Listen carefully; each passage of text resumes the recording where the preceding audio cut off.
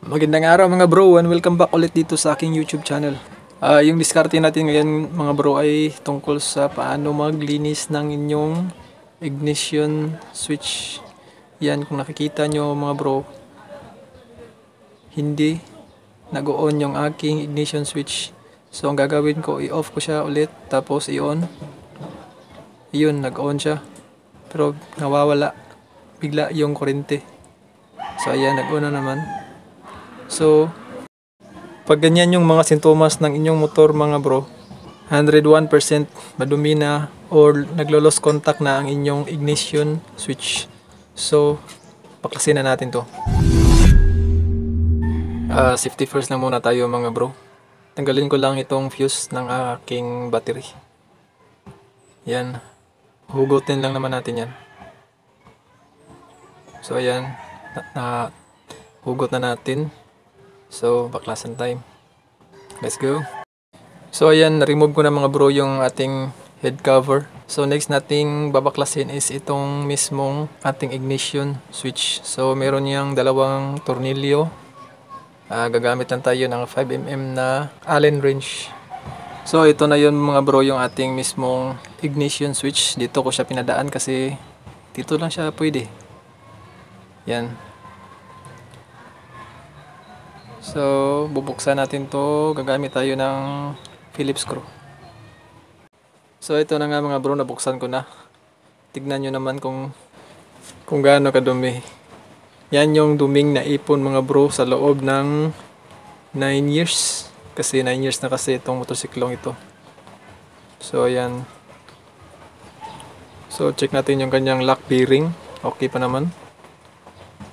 At yung kanyang contact yun. Medyo pudpud na. So ito na yun mga bro. Kung bakit naglo-lost contact yung ating ignition. Kita nyo naman. Ang itim-itim na.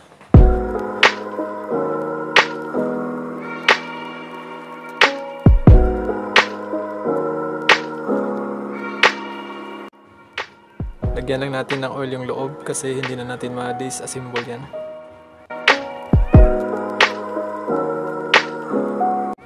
So ito na mga bro, nalinis ko na. Kumpara kanina, napakadumi. Yan, kitang-kita na yung bronze niya.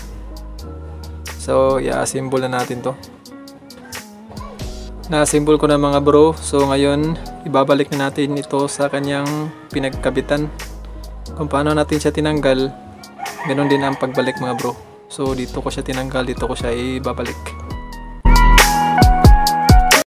Yan mga bro, naikabit ko na.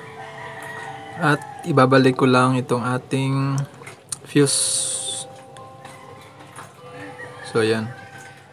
Balik natin to.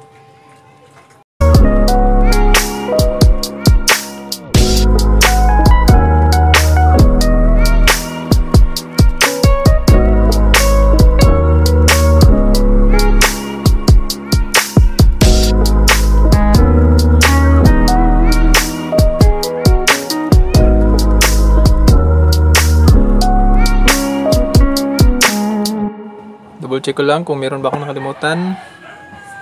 Pero wala naman. So, susian na natin to. Yun. One click lang. So, ayan mga bro. Ganyan lang yung diskarte ko mga bro kung paano linisin yung ating ignition switch. So, sana meron kayong natutunan mga bro. Huwag kalimutang mag-like, share, and subscribe at mag-comment na rin. So, hanggang dyan na lang. Maraming salamat. See you all on my next video.